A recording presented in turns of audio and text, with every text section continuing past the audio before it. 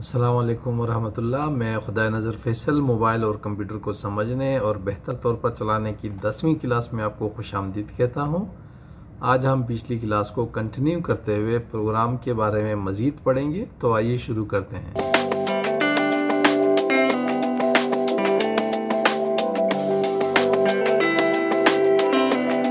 जैसा कि हम जानते हैं कि कंप्यूटर में मुख्तलिफ़ प्रोग्राम इस्तेमाल किए जाते हैं मुख्तलिफ़ काम करने के लिए। तो एक नज़र में हम इन प्रोग्राम्स के काम के बारे में जानने की कोशिश करेंगे। ऑपरेटिंग सिस्टम और ऑफ़िस के बारे में हम पिछली क्लास में पढ़ चुके हैं तो आज हम स्टार्ट करते हैं मीडिया प्लेयर्स से। मीडिया प्लेयर्स वो प्रोग्राम होते हैं जो ऑडियो या वीडियो की फ़ाइल को चलाते हैं। एक तो हमने सातवीं क्लास में डिस्क फॉर्मेट के बारे में पढ़ा था। इसके अलावा फ़ाइल भी मुख्तलिफ़ फॉर्मेट के होते हैं, यानी ऑडियो फाइल्स की सिर्फ़ एम पी एक्सटेंशन नहीं होती है, बल्कि A A C W A V A M R वगैरह, और इनके अलावा अभी और भी बहुत सारे फॉर्मेट हो सकते हैं ऑडियो के।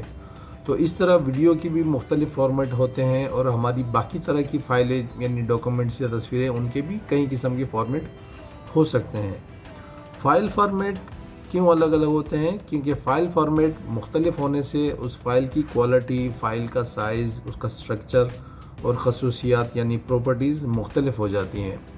तो हमारा ऑडियो प्लेयर जो एम की फ़ाइल चलाने के काबिल हो, वो ज़रूरी नहीं है कि ए की फ़ाइल भी चला सकता हो। विंडोज़ में स्टॉक एप्लीकेशन के तौर पर ऑलरेडी एक मीडिया प्लेयर इंस्टॉल्ड होता है। उसके अलावा हम अपनी मर्ज़ी से थर्ड पार्टी मीडिया प्लेयर भी इंस्टॉल कर सकते हैं। फ़र्ज़ करें हमारे पास एम की फ़ाइल जो है वो चलाने के लिए तीन ऑडियो प्लेयर इंस्टॉल्ड हैं कंप्यूटर में या मोबाइल में। तो जब हम उस ऑडियो फ़ाइल को एक्सप्लोरर के थ्रू जाकर डायरेक्टली रन करने की कोशिश करेंगे तो कंप्यूटर का कौन सा प्रोग्राम कंप्यूटर को लोड करना चाहिए हमारी इस फ़ाइल को चलाने के लिए? तो इसके लिए ऑपरेटिंग सिस्टम के पास एक लिस्ट होती है, जिससे उसको पता चलता है कि कौन से एक्सटेंशन कौन से प्रोग्राम के साथ एसोसिएटेड हैं। दूसरे अल्फाज में इसको डिफ़ॉल्ट एप्स कहते हैं। विंडोज़ में आप स्टार्ट पर क्लिक करके डिफ़ॉल्ट एप्स टाइप करें तो आपको ये वहाँ मिल जाएगा। वहाँ से आप कंप्यूटर का ये बिहेवियर चेंज कर सकते हैं। अगर आपको एक्सप्लोरर आपके पास जो खुल रहा है, आपको वो नहीं चाहिए चेंज करना है तो वो चेंज कर सकते हैं। तस्वीरों के लिए कोई अलग प्रोग्राम चूज़ करना है तो वो कर सकते हैं।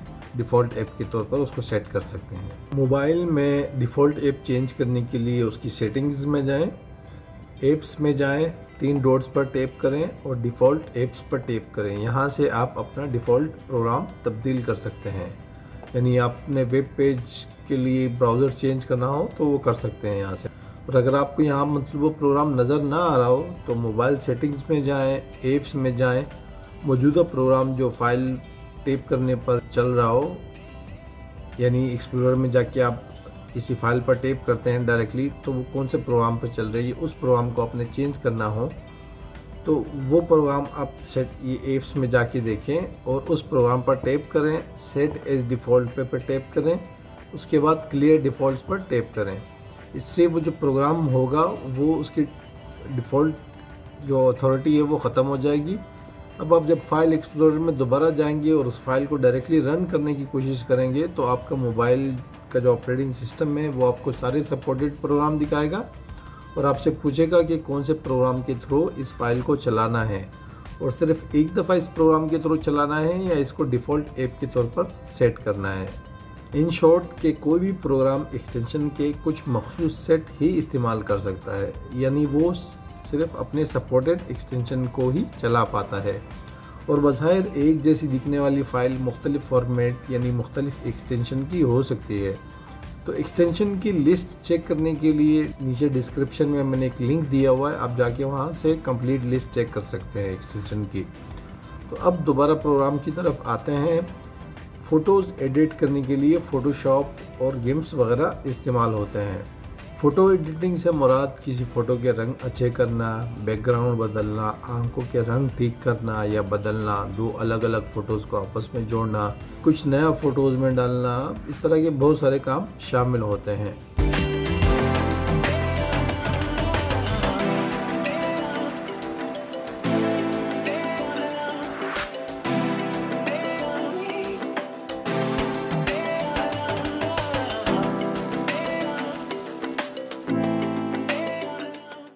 इस तरह वीडियो एडिटिंग होती है जिसमें मुख्तलिफ़ क्लिप्स, यानी छोटे छोटे वीडियो क्लिप्स और तस्वीरें, म्यूज़िक सब आपस में एक जगह डाला जाता है, टेक्स्ट डाला जाता है और मुख्तलिफ़ काम किए जाते हैं, कट, पेस्ट किया जाता है।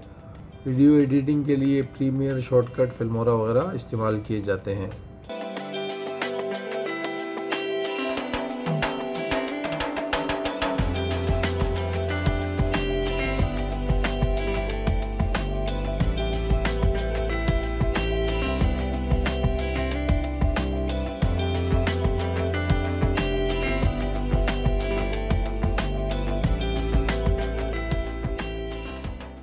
गेम्स भी बेसिकली कंप्यूटर प्रोग्राम ही होते हैं, बस इनका आउटपुट किसी फ़ाइल की शक्ल में नहीं होता, बल्कि कंप्यूटर की स्क्रीन पर जो भी नज़र आ रहा होता है, वही होता है। कंप्यूटर से नुकसानदेह फाइलों को निकालने के लिए एंटीवायरस प्रोग्राम इस्तेमाल किए जाते हैं। वायरस भी दरअसल खुदकार प्रोग्राम होते हैं छोटे छोटे यानी ऑटोमेटिक प्रोग्राम होते हैं।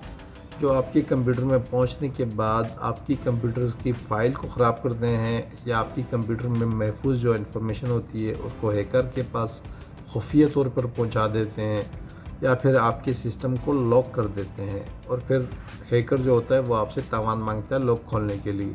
एक कैटेगरी डेस्कटॉप या यूटिलिटी सॉफ्टवेयर्स की है। इसमें छोटे मोटे प्रोग्राम्स होते हैं, जो सिस्टम को ट्यून अप करते हैं, फालतू और डुप्लिकेट फाइल्स को निकालते हैं।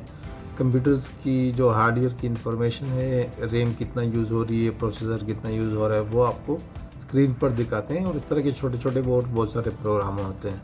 इसके अलावा कंप्रेशन के प्रोग्राम होते हैं, इनको जिप प्रोग्राम भी कहते हैं। ये हमारी फ़ाइलों को कंप्रेस करके कम जगह पर ले आते हैं ताकि जब हम किसी को ऑनलाइन फाइल्स भेज रहे हों या यूएसबी स्टिक में ट्रांसफ़र कर रहे हों तो कम से कम जगह घेरे वो।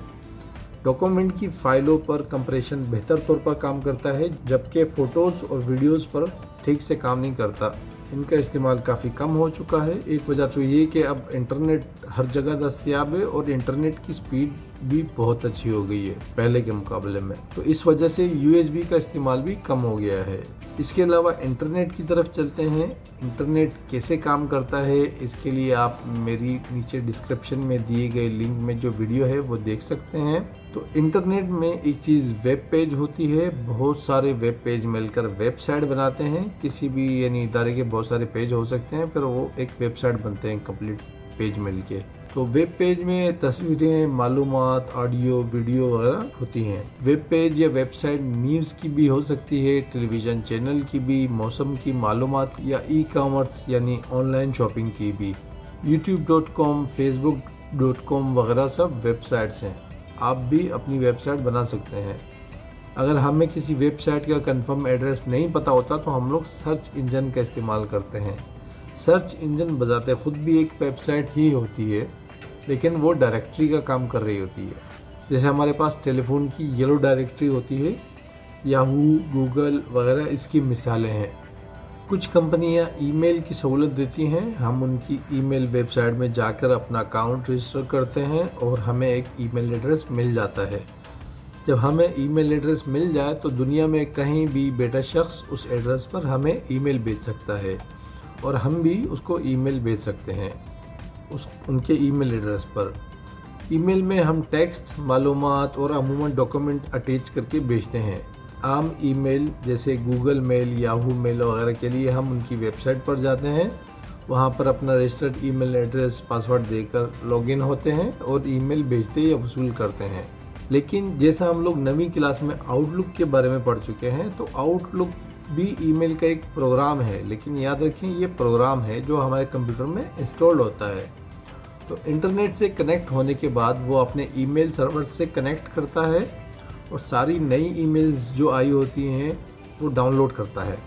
इसके बाद अगर हम इंटरनेट से कंप्यूटर को डिस्कनेक्ट भी कर लें तो वो सारी ईमेल्स हम लोग पढ़ सकते हैं आउटलुक में वो वो मौजूद होती हैं। और हम नई ईमेल भी आउटलुक में लिख सकते हैं। शर्त ये है कि वो ईमेल तब ही हमारे कंप्यूटर से आगे जाएगी जब हमारा कंप्यूटर इंटरनेट से कनेक्ट होगा। आउटलुक को हम लोग डिटेल से बाद में ऑफ़िस के प्रोग्राम में पढ़ेंगे। वेबसाइट जिन प्रोग्राम्स के ज़रिए चलाए जाते हैं, उनको वेब ब्राउज़र ब्राउज़र या इंटरनेट एक्सप्लोरर कहा जाता है। जैसे गूगल क्रोम फायरफॉक्स या माइक्रोसॉफ्ट एज वगैरह। दूसरे अल्फाज में आप किसी भी वेब पेज को विज़िट करना चाहते हो तो उसके लिए आपके मोबाइल में या कंप्यूटर में एक छोटा सा प्रोग्राम इस्तेमाल होता है। तमाम ब्राउज़र के बेसिक फ़ंक्शन एक जैसे ही होते हैं। थोड़ा बहुत शक्ल में और काम करने के स्टाइल में फ़र्क हो सकता है। आपको आज की क्लास कैसी लगी? कुछ नया सीख पाए हैं? कमेंट करके ज़रूर बताएँ। कोई सवाल भी जहन में आ रहा हो तो वो भी ज़रूर पूछें। अपना फीडबैक दें। और वीडियो लाइक करने के लिए शुक्रिया। मेरी अगली क्लास देखने के लिए मेरे चैनल को सब्सक्राइब करें, मेरी इस तस्वीर पर क्लिक करके और बेल का निशान भी दबा दें। मिलते हैं ग्यारहवीं क्लास में। अल्लाह हाफिज़।